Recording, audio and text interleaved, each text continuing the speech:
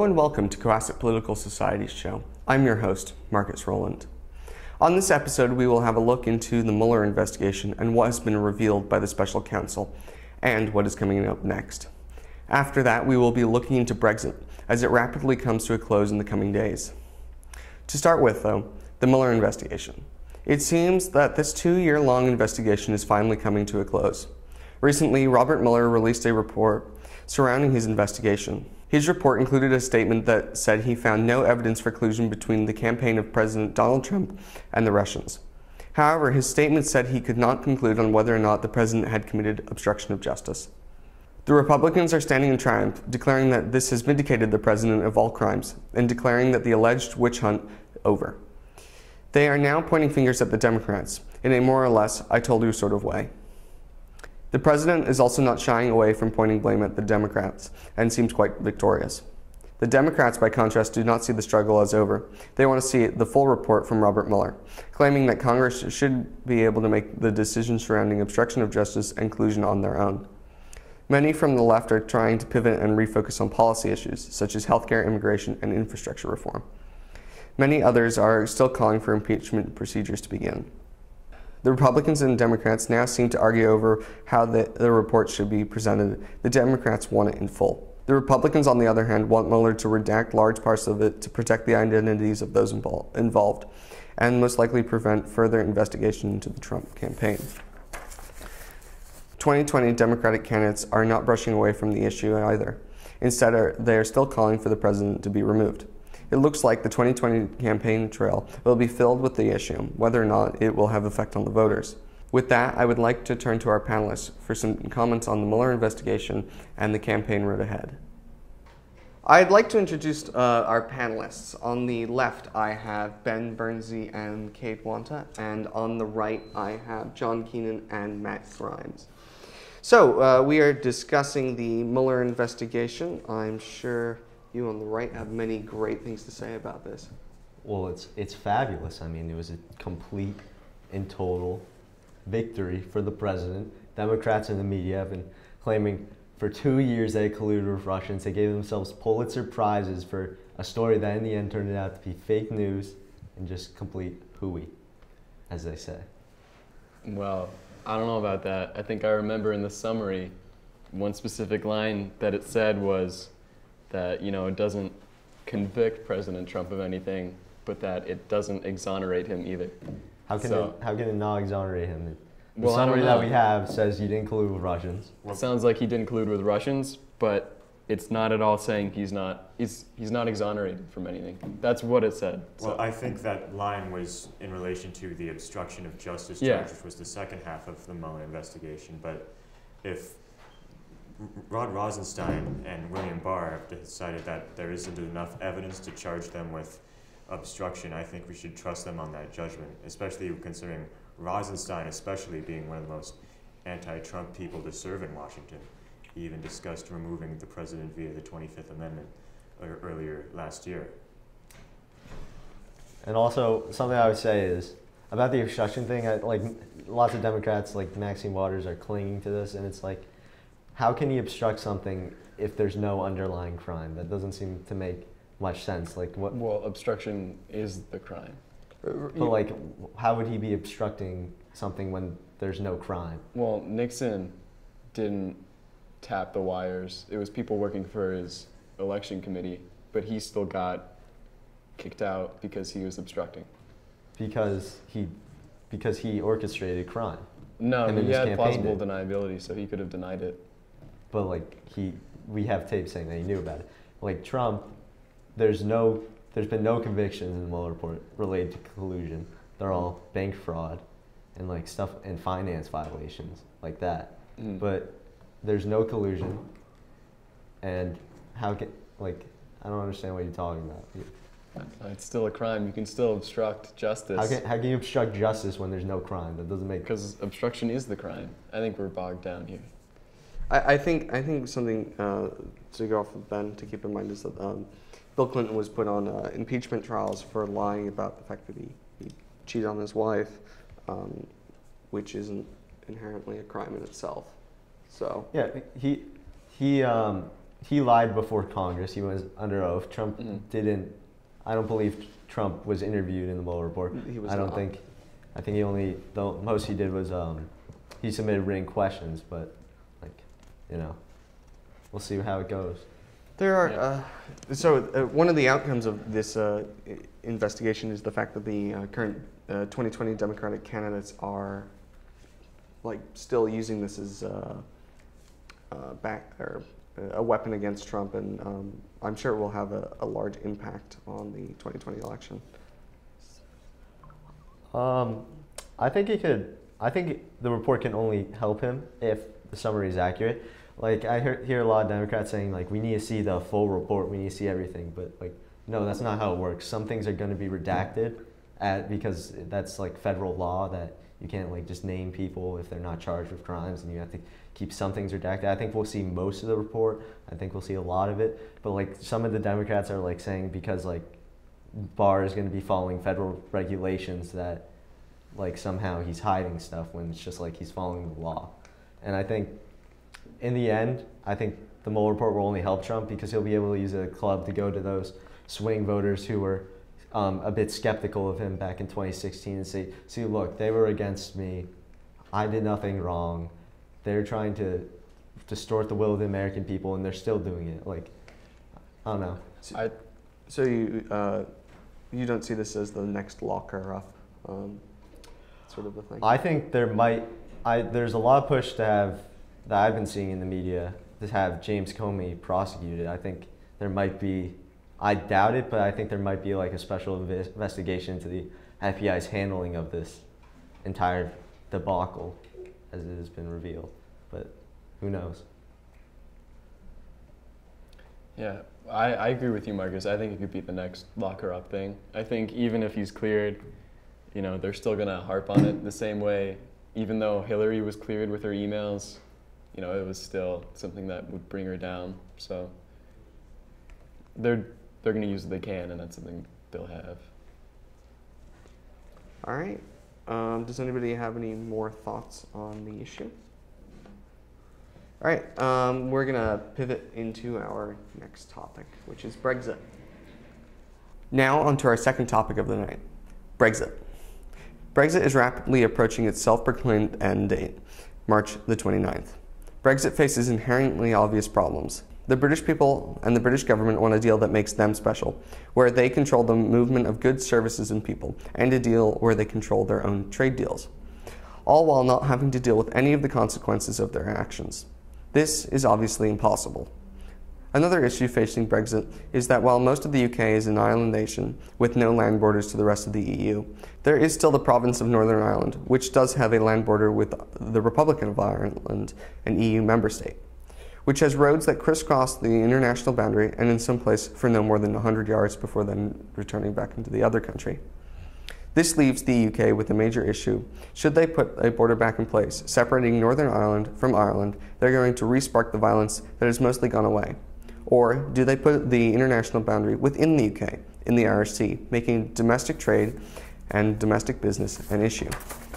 Additionally, an inter- internal international boundary is not a maximum Brexit, the whole focus of this issue, and one that the government has been promising for years.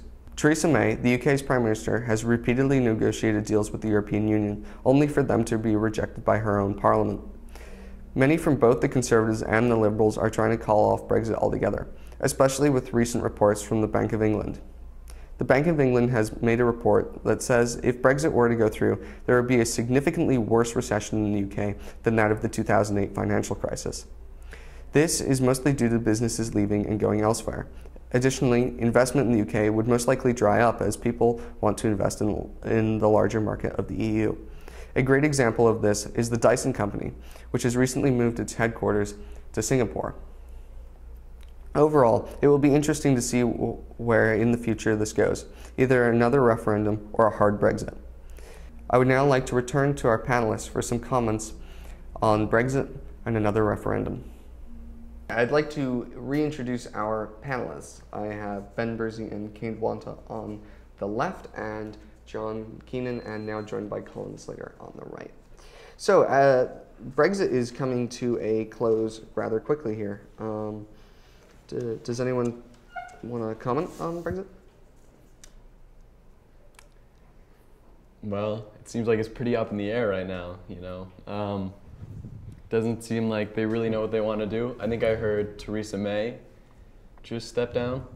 So She's going to following the if they come through with the deal, whether or not. But once the whole Brexit debacle is done with, she's going to. She announced that she's going to resign as prime minister. yeah, so obviously it's not going that great.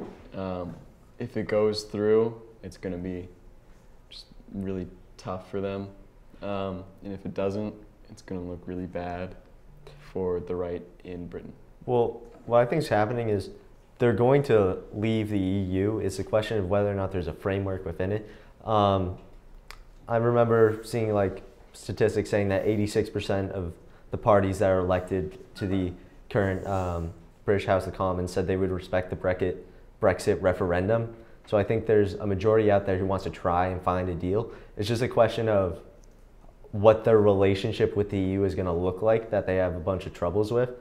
Like there are a bunch of people who want to push for like a hard Brexit, where it's kind of like our relationship with the with the EU, where we're just like two separate entities negotiating with each other. But then there are others who want it more um, more close relationship and maybe even like preserve their economic trade deals that they have and stuff like that. So it's going to be interesting how it pans out.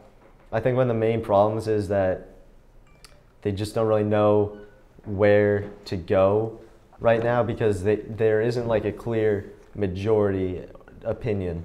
It's kind of just like there's six different fractions that each wants six different things and none of them are coming together. So we'll see. Well, because because no one's coming together, I think it's inevitable that we're going to see, eventually at least, a no-deal Brexit. Just because if no one's going to cooperate, and that's the only thing that can happen if they don't cooperate, then that's just destined to happen. Whether or not each side wants it, if if the no one's if they're not willing to work together and compromise, or one or one side works with other parties to get what they want, it's it's just not. It's just going to be a no-deal Brexit because they want to get what they want.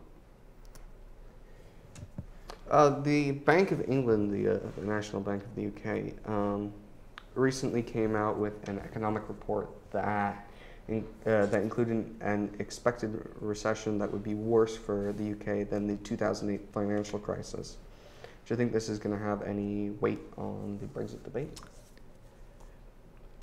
I don't think that it can have it'll have much debate. People are obviously scared about the economic futures of Britain because they're obviously not going to be if they're not in the economic union with the EU, which is probably its main appeal to most nations, then they're going to be at a disadvantage and isolated um, economically, and they don't frankly have the resources or infrastructure to support themselves because they've been so integrate, integrated with Europe over the last years. So it's kind of like they're just going to have to come up with some solutions and trade deals to work it through. But I think also one of the ma- main problems with the current um, with the current debates that I see is that Europe is trying to make an example out of Britain, and they're trying to like make it as difficult for them as possible to have a smooth leave because they obviously don't want to encourage other nations to do it. So they're saying, look at how bad they're doing. You don't want this, just stay in the EU. So I think both sides each are trying to kind of extort the other, and they're not really coming up with real solutions. I- feel like it's very easy for the EU to point fingers at the UK and go, look at how bad a job they're doing, because it's just, it's a complete mess.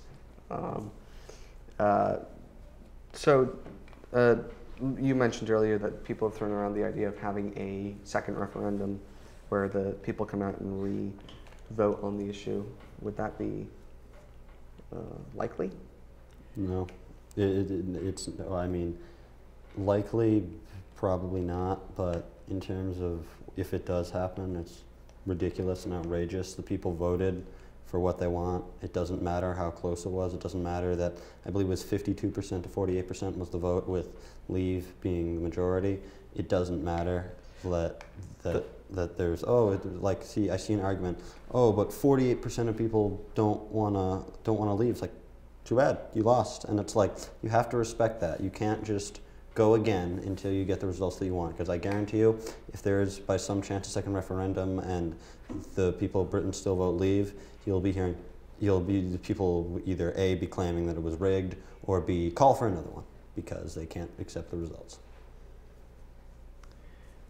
I think another referendum would be good because um, doesn't seem like the people really knew what they were getting into. It doesn't seem like the British government knew what they were getting into either. Um, and in the negotiations, from my perspective, it's just Britain asking to have all the benefits of the EU, but none of the burden. So the EU is saying, no, that's not how it works. You can't just take and not give anything back. So, from my perspective, that's why the EU is telling Britain that um, the deals that they keep coming up with aren't ones that they can accept. Well, the issue with that is Britain was in the EU for, correct me if I'm wrong, I believe they joined in the 1990s. Yeah, I- uh, maybe earlier. In yeah, earlier some, sometime around that, and Yeah. 1980s, 1990s. They, they were fine for a while. I think the issue is that, as an economic union, the, Euro, uh, the European Union's great. It's just as a, they're kind of growing in power, and you, some um, people within the European Union are trying to increase the power of the European Union at the expense of the sovereignty of their member states, which you, you can't just do that because like that's just that's just basically going towards the idea of a unified Europe, which was just all the cultural differences of Europe is just and geographic too. It's just I wouldn't say impossible, but it's nothing that can be achieved today. It's just people are so different. It's What, the, the main problem I see with having a second rec- referendum is the fact that it will basically be just a referendum on Theresa May's Brexit deal. And though they, and it'll just be whether or not they like that. It won't be about the topic of leaving the EU itself. It'll be about how they leave it. And I see that that kind of just poisons the whole debate because they're trying to like, they're trying to, they're showing the public like this deal that is unpopular and they're saying you can either have this or stay in the EU. And they're obviously going to stay in the EU instead of trying to negotiate out a better deal. Like if they said like if the referendum was like start over and um, start re- renegotiate everything or stay in the EU, I can maybe see it. But I, I feel like the debate is instantly going to be poisoned by the failings of Theresa May's government. Yeah, I definitely think that what's been going on will definitely sway the vote. But, you know, if they don't like the way that it's been handled, it's been going bad, you know, I don't think they should stay. Or I don't think they should leave because of how bad it's been going. Well, on that note, we are out of time and we will sadly have to end this episode. Uh, I'm Marcus Rowland, and we will see you next time.